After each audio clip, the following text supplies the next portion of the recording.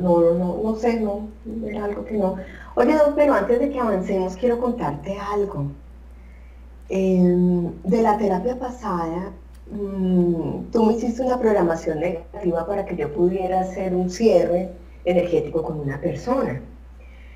Eh, tú me dices en esa terapia, nos vamos a ir dos años más adelante y me dijiste, no lo veo. Vámonos un poquito más de para atrás. Entonces ya lo vi, está hospitalizado, lo está atendiendo una monjita, no sé qué tal, doctor, tal cual todo como usted me lo dijo, así pasó. Él había hecho un cáncer de seno y le hizo metástasis al hígado. Y ya él terminó muy postrado, muy malito, y cuando su merced dijo, o sea, yo fui el 13 de diciembre de 2013, y usted dijo dos años después que ya no lo veía, o sea, ya no estaba en este plano. Él se muere el 7 de noviembre del año 2015. ¿Permites compartir esa experiencia que estás diciendo?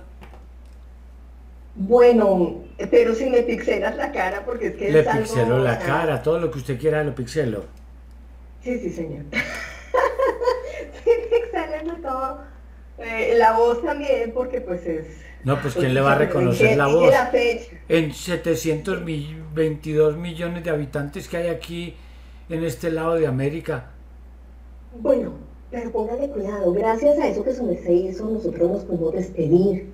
Y él pudo hacer su proceso de enfermedad y todo, y yo le ayudé hasta donde pude.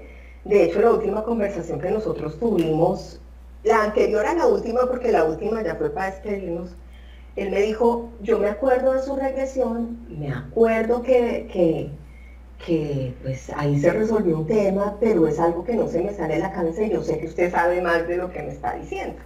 Entonces llegué y le dije, mira, lo que pasa es que aquí en esto a veces le salió pues que tú ya no vas a estar en este plano, tú tienes que cerrar y no sé qué tal y él pudo cerrar su tema.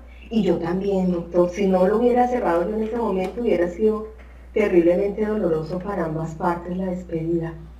Bueno. Pero sí, o sea, me impresionaste mucho, o sea, y que yo le pude decir, o sea, le pude decir, mira, no, ya, ya en este momento no vas a estar en este plano, tienes que arreglar los problemas que tienes en tu casa, tienes que arreglar los problemas que tienes, eh, bueno, que tienes que arreglar y ya, imagínate.